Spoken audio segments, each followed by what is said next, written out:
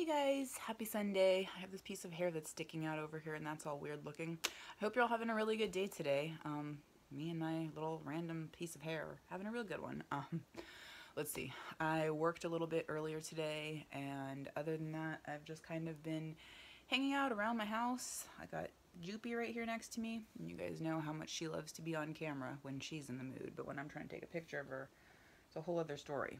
But she's sitting here purring expectantly, so she must want to be filmed. No, she's turning her head away. She's shy. Be on camera, Joopy.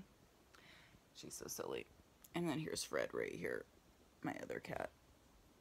So now you've seen them both today.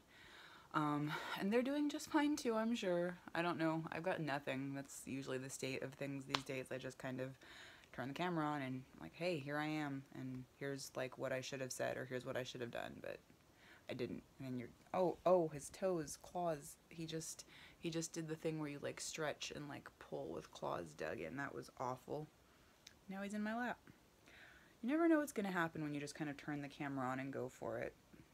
Usually, in my case, it's wild weasels attacking me, sharpening their claws.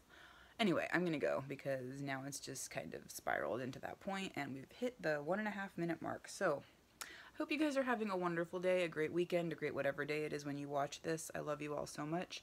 I thank you all so much for watching. I'm getting distracted by rubbing my cat's face, and I will see you all tomorrow. Bye.